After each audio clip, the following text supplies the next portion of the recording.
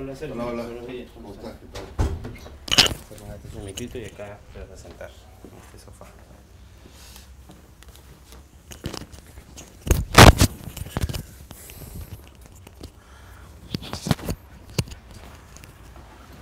Ya, toma asiento acá.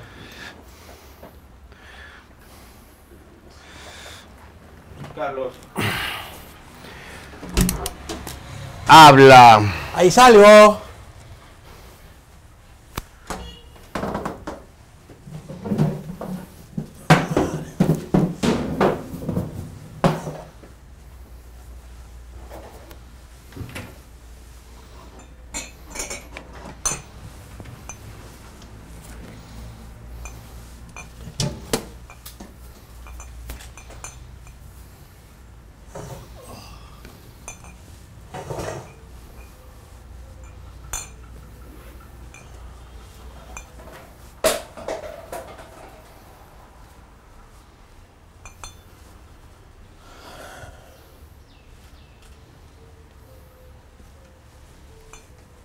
Señor, Compadre. ¿cómo estás? ¿Cómo va? Acá. Puta madre, para coordinar una. Sí, pues porque te botas. No me voto. Eres un hombre tus, muy ocupado. tus horas son bien. ¿No te despiertas tan temprano? ¿Qué? ¿No te despiertas tan temprano?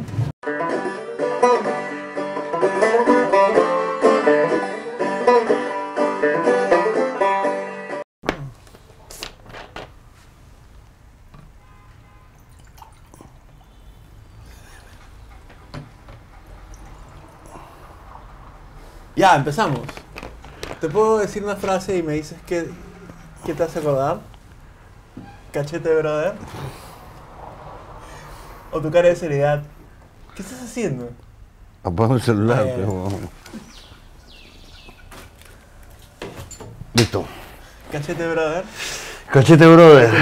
Claro. Noventas. ¿Podemos recordar un poquito sobre eso? Claro. Siempre te quiero preguntar sobre esa Sí, sí, sí, normal. Sabes que es un programa de culto. Eh, Sí. ¿Te dio el pincho? No, normal. Es un normal. programa de culto en una época donde no habían programas así en Lima. ¿Estamos bien? ¿Qué pasó? Vamos a ver un poquito. En realidad, no, pues. No, no. Y ahí empezó la cámara movida y toda esa vaina, pues. No, no. En la ¿Qué- televisión acá. ¿Qué es la cámara movida? ¿El- La del hombro y esta vaina de acá. ahí Que antes no había cámara- No, nada. Todo era, todo era trípode, todo era fijo, pues.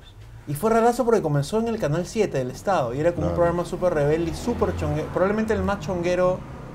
Ese, eso fue toda una. Eso fue toda una historia, ¿sabes? Porque lo hicimos con. Hicimos un piloto un año antes, un año y medio antes. Y lo presentamos a todos los canales. que se llamaba la Academia TV. Claro, que hay MTV. Y era Cachín, Verónica Madori y yo. ¿Quién es Verónica Madori? ex modelo, además era una modelo súper reconocida en la época y todo el rollo. Ahora tiene su empresa de, model- de modelos, de. BTL y esa vaina. pues, ¿no? Y este, y este también ha hecho cosas así de actriz, ese tipo de cosas. Y el, el piloto rebotó, me imagino. Puta, rebotó en todos los canales, o sea, lo llevaban y salía por la ventana así. Entonces salió volando, Claro. era alucinante. Y era- Además era un piloto en Super VHS. Claro, porque estamos hablando del 92-93, pues, ¿no? 92, 93. El piloto fue en el 90 y 91, por ahí. 91. ¿Y de quién fue la idea?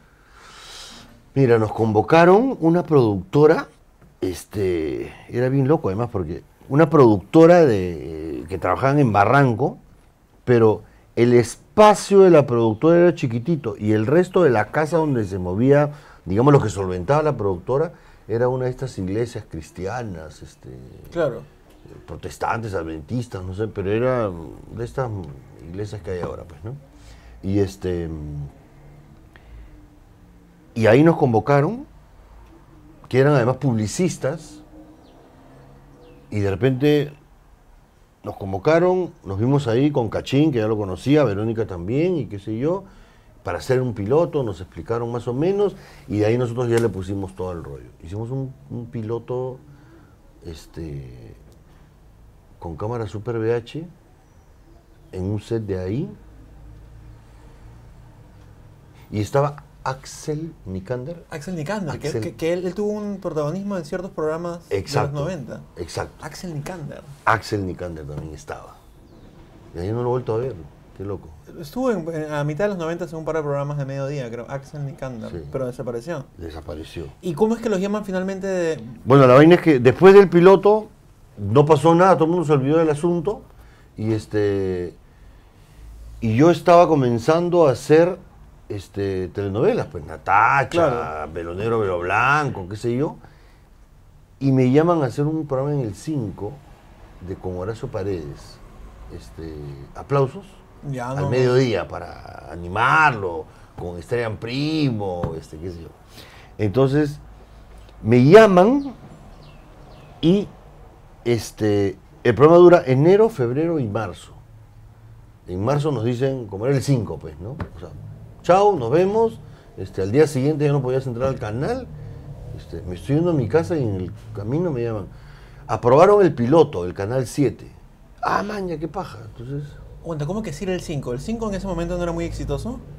pero así era, pues. Que te votaban y. O sea, tú un día ibas a trabajar este, y ya, no, señora, ¿cómo que no? No, ya se acabó el programa. Al día siguiente. O sea, tenías que ir a- Además, llegabas rápido porque te tenías que, que maquillar y todo el rollo, ¿no? Y, y llegabas a la puerta y la gente te decía, este, no, ya se acabó el programa. ¿Cómo que no? Ya no va a salir al aire. Puta, o sea, es una llamadita, pues. Así son las cosas en este país. Y los llama, te llaman para que se aprobó el piloto de, desde... Y me llaman que se aprobó el piloto del 7. Entonces, Axel ya no estaba, este, Verónica ya no podía porque se embarazó, qué sé yo, papá. Entonces estábamos viendo ahí y quedamos Cachín y yo. Dijimos, pucha, Marisol, pues, este, las, las gemelas, las, gemelas Aguirre. Porque además, Cachín conocía a las gemelas, este, ellas son de mi barrio, de Surco y qué sé yo. Entonces, ya, bacán, pum, pum, llamamos a Marisol, este, grabamos la primera semana del programa, porque la primera semana, la primera semana del programa sale este, grabado. Y en esa semana entramos el primer día al set, porque, o sea, fue tan de golpe el, el- el- el- asunto con la academia, con la gente, la gente se volvió loca, entonces habían como que cosas encontradas, ¿no? Un montón nos odiaban, otros qué porquería es esa, otros este era, man, ya qué alucinante, y el canal no sabía qué hacer, si votarnos o no votarnos. pues. Y a la semana, entonces Cachín ya estaba pues en su, eh, empezando todo el proyecto de Pataclown, que yo inicialmente también iba a estar en Pataclown, pero después ya no pude porque las novelas y qué sé yo.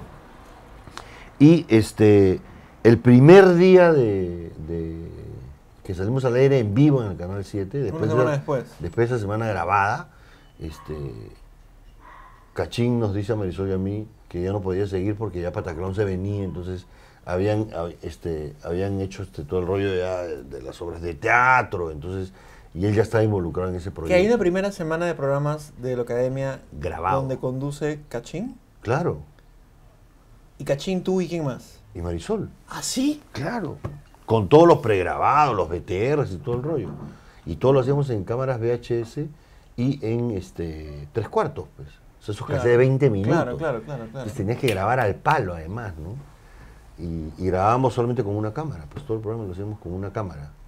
O sea, todo el programa de grabado, digamos, BTR. Y en el canal ya pasamos, este...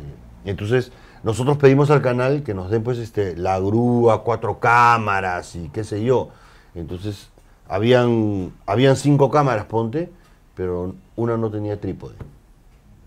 Entonces este, yo le dije al pata, ya pues póntela en el hombro pues, y, quédate parado ahí, lo más fijo que puedas.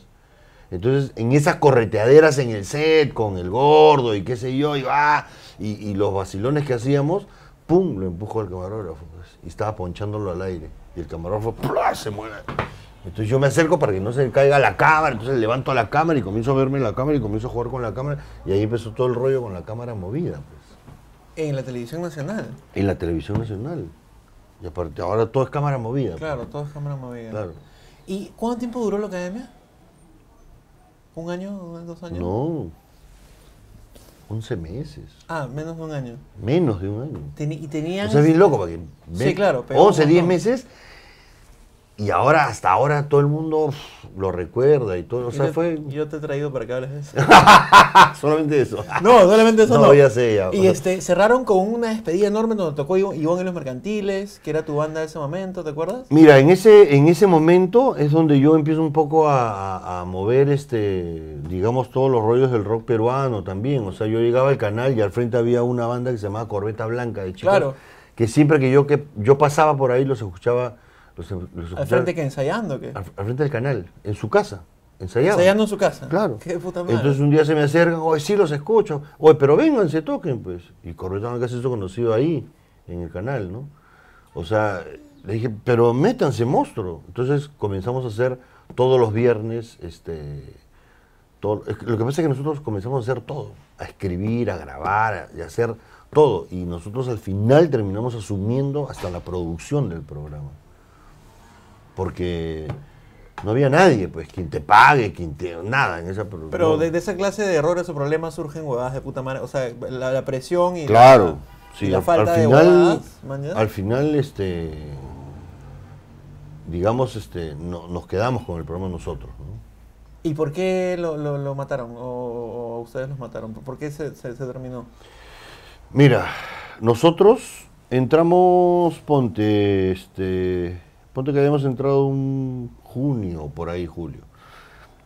Hemos estado unos 6, 7 meses con la misma escenografía que además fue hecha con tres mangos y Y que cambiaron un momento, ¿no? La Y, renovaron. Claro, cuando entra verano, con el éxito del programa y Y todo con el todos los auspiciadores que tenían. con todos los oficiadores que tenían, o sea, Marisol y yo estábamos haciendo comerciales y todo el rollo, este,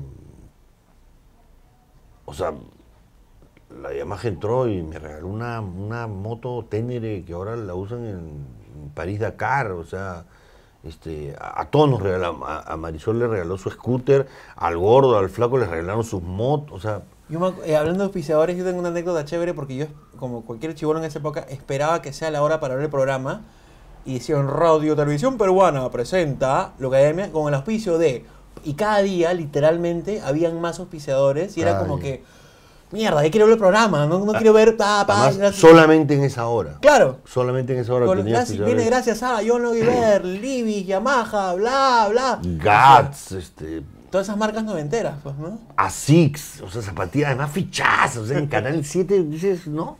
Claro. Yo me acuerdo, este, Fisher Price, yo acuerdo que tenía mis medizas chiquititas y, y- y- y- y nos, este, los auspiciadores nos, nos, este, nos, este, ¿cómo se llama? Nos, Regalaban cosas que. nos daban vales para que vayamos en la semana Ajá.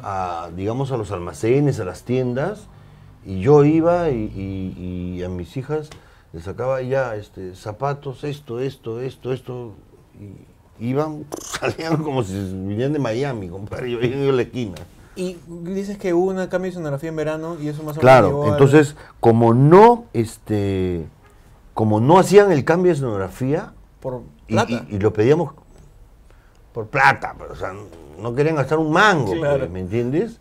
La típica, pues, del peruano, y más de los noventas todavía. Claro. Entonces, este, mm,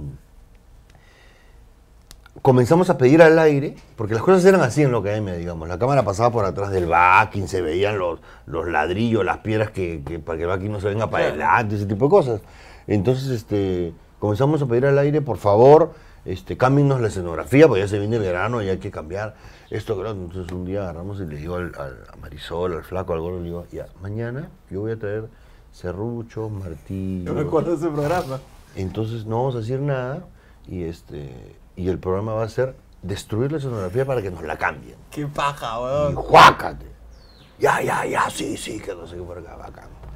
Entonces llegué con mi bolsa, pues, con mis serruchos, con martillos y todo. Y empezó el programa, todos los, los que se encalentamos ahí, bacán. Empezó el programa y este y todo el programa fue desarmar la escenografía. Y, la, y, y- y literalmente le hicimos mierda, pues. ¿Y qué efecto tuvo en el canal o en la producción? ¿Qué, qué les dijeron? la semana siguiente, toda esa semana de programa siguiente, claro, como, como, eso, se, como eso funcionaba, o sea, el canal como que decían, bueno, entonces, ¿y ahora qué hacemos? Me decían, este, nada pues, o sea, la semana siguiente que viene vamos a hacer el programa adelante y atrás que trabaja en la escenografía, y que se vea que trabaja en la escenografía, y así un poco para que la gente vea cómo se trabaja una escenografía en un canal, pues, ¿no? Qué de puta madre. Todas esas semanas trabajaban atrás, nosotros, nosotros hacíamos el programa y decíamos, "Shh, un ratito que estamos hablando, Entonces, y pa, y clavaban de verdad, entonces, y era monstruo, pues, ¿no? ¿Y cómo todo eso termina? ¿Por Ah. qué? ¿Por qué toda esa aventura Monster termina? Porque en realidad nosotros nos cansamos, pues. O sea, teníamos secuencias de Perú, de turismo, turismo en moto, salíamos, viajábamos, o sea, teníamos los programas de lunes a viernes. Los viernes de noche salíamos a la casa, hacíamos las maletas, salimos en la madrugada, provincia, grabábamos Wow. sábado, Claro. Veníamos el lunes por la tarde, noche, editábamos un poquito lo que, y salíamos al aire. Lunes, martes, entonces era y la vorágine de grabar en la semana y no teníamos más plata, cada vez teníamos menos plata. Entonces este, dijimos ya y comenzaron a, a dejar de pagar. Ah, sí. Claro, pues porque en esa época el canal comienza a producir, el canal y la productora, ¿no? Comienzan a producir los programas de Mickey Rospirosi de deportes y toda la parte de nosotros se comenzó a ir a, a cinco programas más. Y esos programas no funcionaban como funcionábamos nosotros. Bueno, a veces Mataron las- a la gallina, claro, pues. A veces las huevadas de puta madre duran muy poquito y por esa misma huevada. Pero bacán, pues además... Terminó en el mejor momento y eso es paja, man, ¿ya? No, También. no como tú has trabajado mucho en televisión, hay programas que se estiran ah, y tú dices, puta, ya los dos últimos años de ese programa fue como que. ah, man, ¿ya? No, claro, y además, además es darle a una vaina que ya ni la gente te ve, o sea, ya la gente también prefiere a veces quedarse con el recuerdo inicial, ¿no? Y eh, los viernes de rock peruano eh, es algo que te llevó a lo, que se transformó en Radio Más adelante. ¿Y Sí, o sea, claro, yo, en- yo en esa época este, tenía mis amigos que tocaban este, en discotecas así, Anders, este, metaleros y qué sé yo, tocaban estas discotecas Anders en San Isidro, esa del castillo, ¿te acuerdas que había una, No. una que yo- era como un castillo? Yo tenía 13 años en esa época. Que... Ah, eres chivolazo, Iner todavía peor. Y- y Este... cuando salimos de viaje con los chaveros me pusiste una chapa que nunca me voy a olvidar. ¿Te acuerdas? ¿Cuál? Rugrats. Ru- Ah, sí, los Rugrats. O Rugrats, me decías. No, Chibolito pero con mi capa. Digo, ¿sí? tú grabas por todos lados. ¿Qué, Este, qué discoteca del castillo? Tenía un pata en mi barrio que era metalero, me acuerdo. Era una discoteca en San Isidro, que era, era como un castillo. Y tenía su puente, la entrada. Y era recontra en San Isidro, alucina. En República de Panamá. O sea, hasta Meander era, pero en San Isidro. Rarazo. Y ahí tocaba este, un amigo mío, no me acuerdo su nombre, pero era de mi barrio y tenía su grupo, me acuerdo. Entonces, este, tocaba un tema que se llamaba Diarrea Cerebral. Maña. Es diarrea cerebral. Así bien metal. Y yo lo iba a ver, pues, este, y era bien paja su música, así bien, bien, bien metal, bien hardcore. Y este, y siempre lo escuchaba y, y mañana, o sea, a él no lo podía llevar, digamos, este, al, al- al- al programa, ¿no? Pero, pero siempre me vaciló, o sea, siempre me vaciló ver eso, ¿no? ¿Y cómo es que, que, que inicia Radio Insomnio?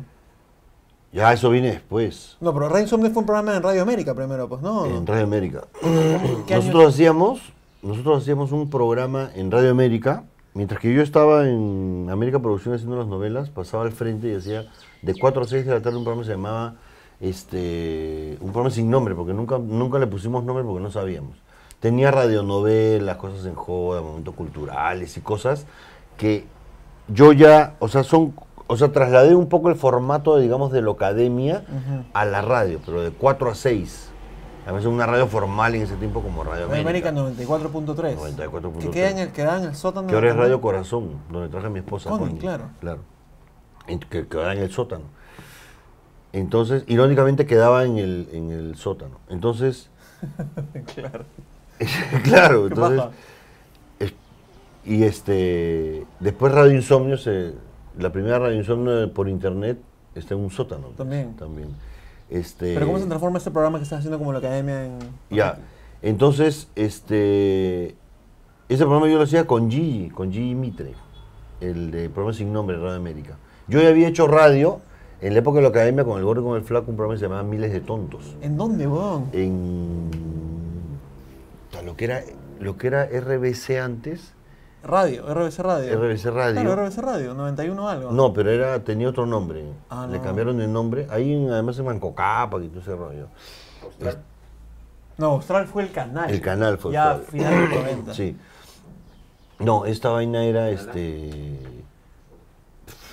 Ya fue, ahí lo, ahí Ya, lo googleo. ya. Miles de tontos. Miles de tontos. Durante la academia. Y era un programa full ska. Todo era ska, rock and roll y era pura joda. En radio. ¿Durante la academia? Durante la academia. Durante la academia. Al final de la academia, antes de, antes de los finales de la academia, y ahí hacíamos este. este además porque teníamos la banda y todo el rollo. Claro. Entonces, cuando hago radio en, en- en América, este, hicimos eh, el programa sin nombre con Gigi y en un momento me dicen a mí, no tengo nada para la noche, pero noche madrugada, toda la noche. Entonces, como yo, suf- yo sufría insomnio, ya no, ya no tengo insomnio, este, dije, este, oye, ¿sabes qué? Yo tengo complicaciones de 4 a 6 porque estoy al frente grabando novelas, entonces tengo, salía corriendo, regresaba, entonces era un poco con, con roche. Entonces, este, ¿qué tal hacemos una cosa? Yo me paso la noche, yo no te pago, tú no me pagas, pero me dejas libre, pues. Entonces yo sea de 12 de la noche a un cuarto para las 6. de ¿Yo te pago, tú no me pagas? Claro. ¿Qué quiere decir eso? mamá?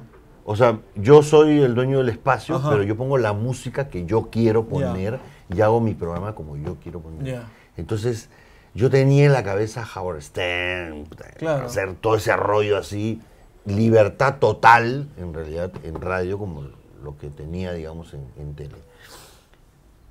Y les gustó la idea, porque a las 4 de la tarde me estaban pagando, pues, ¿no?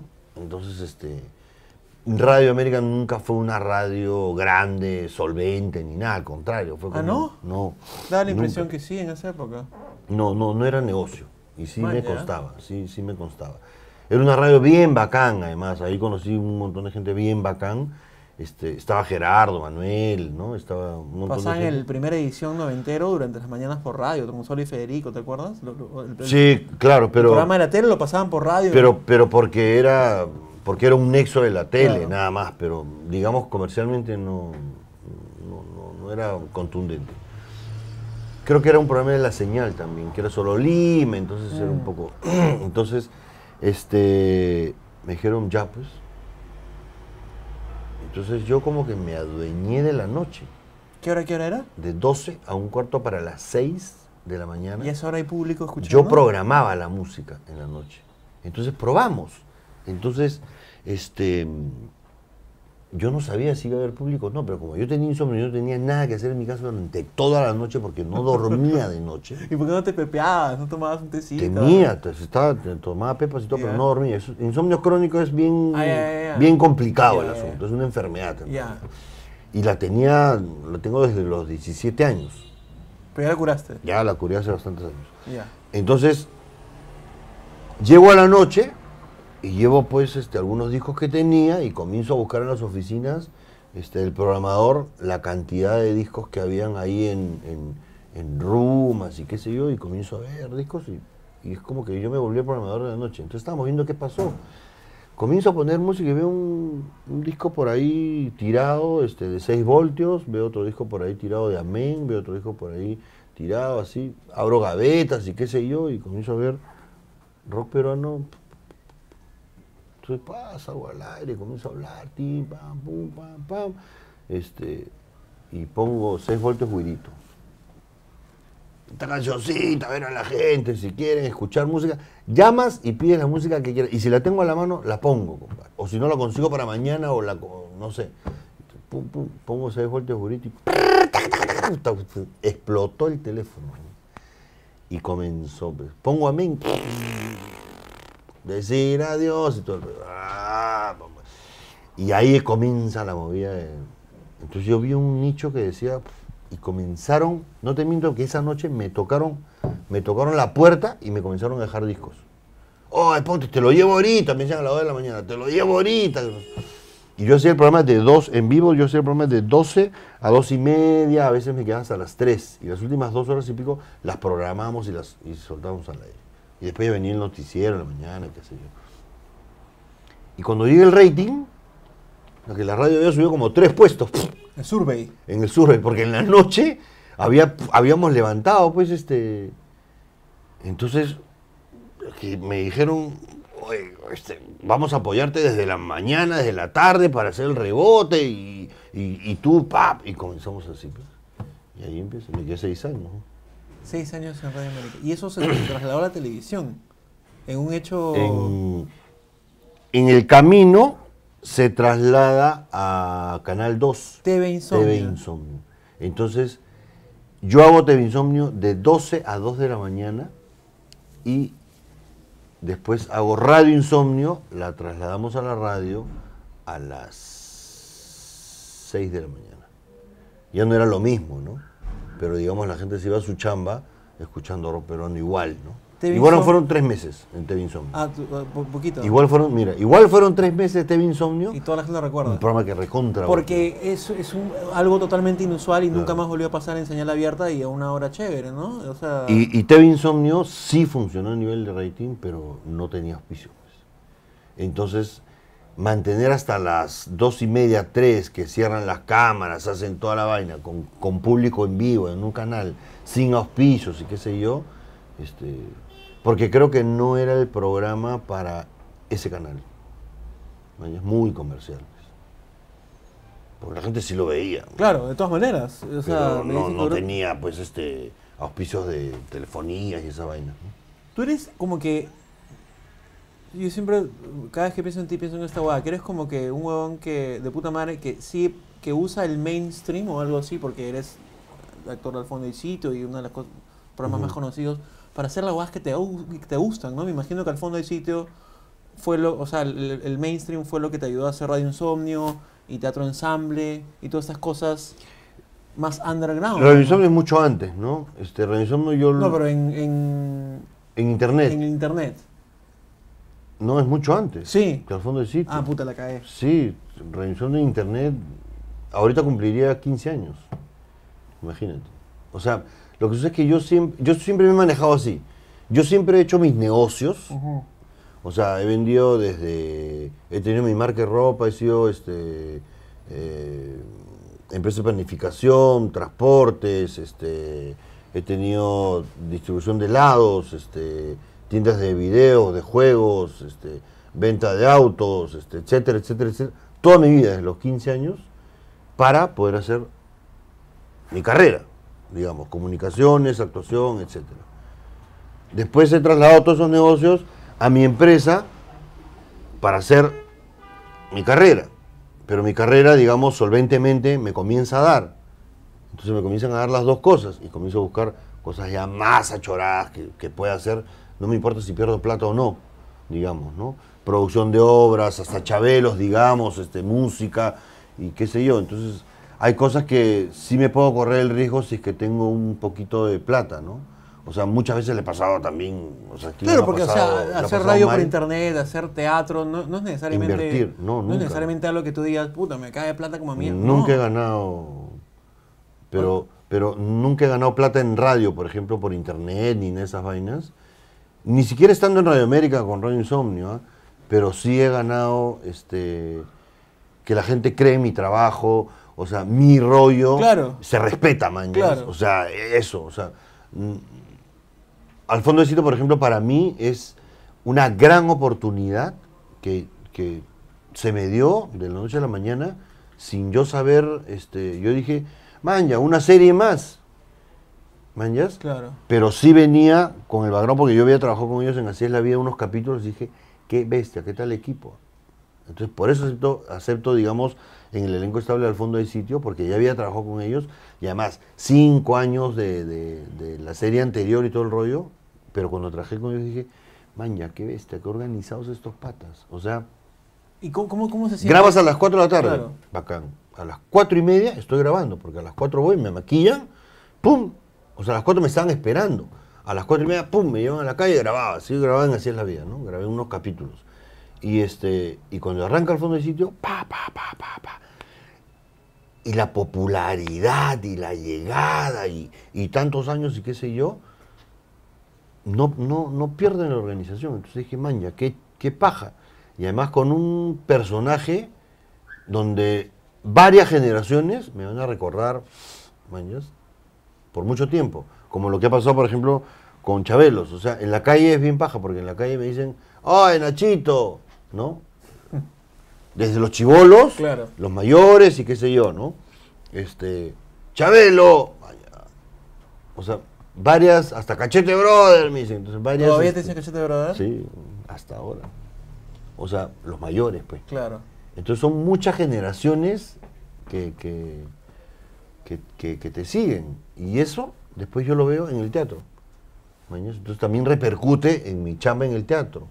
Y es bien paja cuando después de la función se te acercan y dicen, la gente que por primera vez te ve en el teatro, chivolos, uy, maña, qué paja. O sea, Chibolos que habrían llegado desde dónde? ¿Desde tu fama de televisión? O de al fondo hay sitio.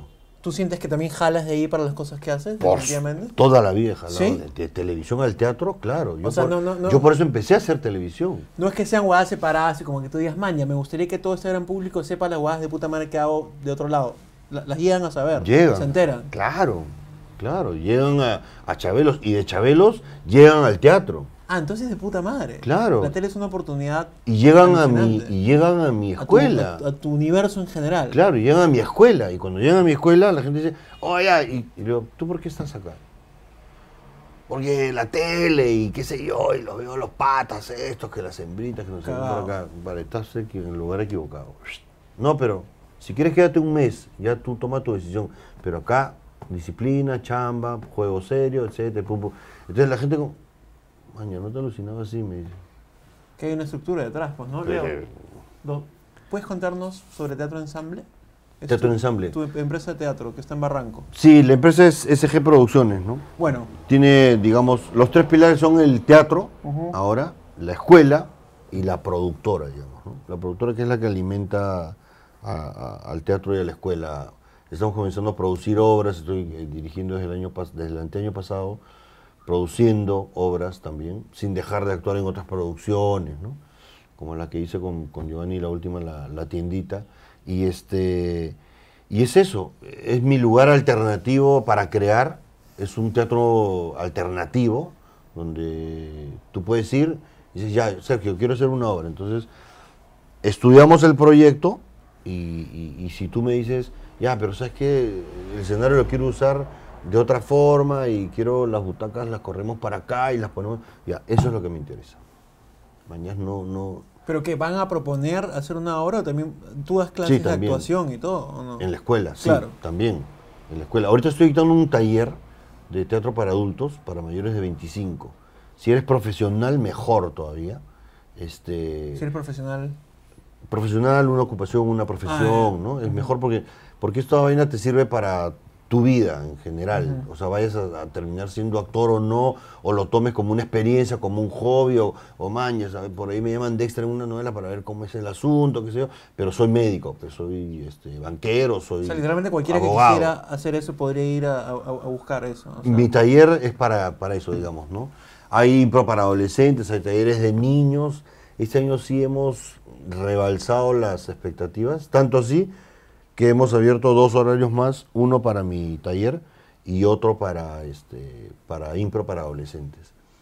Y la escuela sigue su curso siempre, cada cuatro meses se abren nuevos ciclos, es una escuela de año y medio, donde los chicos terminan haciendo su taller montaje y, y pasan por cursos teóricos, apreciación de cinematográfica, arte, este, canto, baile, música, actuación 1, 2, 3, 4, o sea, es bien completo. Todo esto el espacio, o sea, tengo, un- Sí, es tengo lindo, un- una casa. Tengo un buen espacio, ¿no?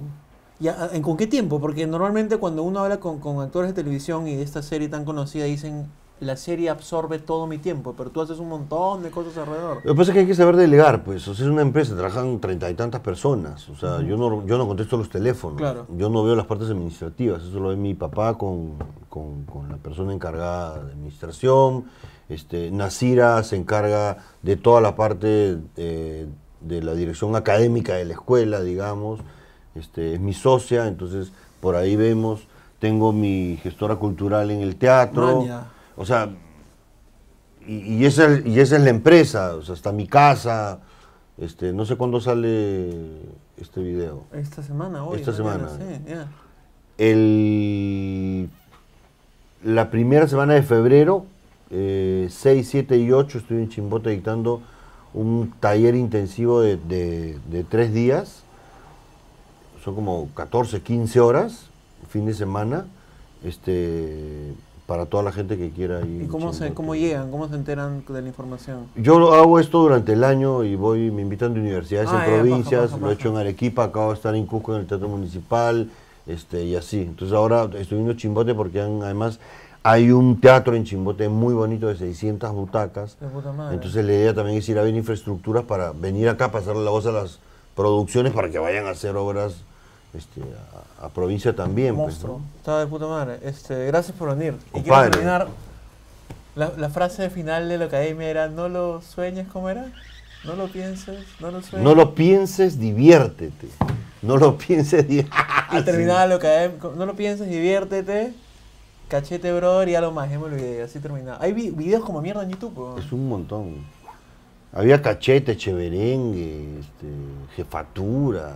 Me yo, me, yo me copié este de Han Luz de los, de los surfers, que era el, el, el, el- el brother, este, y el cachete se lo copié a una amiga que era maquilladora, que yo estaba haciendo una película en esa época. Entonces cuando me, me maquillaba me decía este, ya estás cachete. Entonces a mí me llegaba el shopping esa palabra, pues cachete, ¿no? Ya estás cachete, no me ya cachete. Y un día me venía justo de correr tabla y llegamos al, hacer el, hacer el programa, como que nos veníamos en la playa y, y justo así, brother, cachete. Yo, se me salió la, entonces quedó cachete, brother, y Y se volvió una de las frases más usadas. Ahora, como es chivolo pulpín, ¿mañas chivolo pulpín la frase chivolo pulpín no? ah, no, no, no. ¿No mañas habla chivolo pulpín? Ah, no, no, no. Ya, los chivolos ahora de- dicen habla chivolo pulpín. Chivolo Volpín. El chivolo pulpín de ahora es el cachete brother de los 90. Todo el mundo decía madre. El cheverengue, por ejemplo, después lo agarran los programas cómicos. Claro, cheverengue el con cheverengue y, y- y agarran el cheverengue y le hacen cheverengue y lo hacen suyo, ¿no? Así Oye, ya, que como, como macho que se respeta. Gracias, ¿no? no, madre. Chévere, compadre, chévere. Eso es. Puta,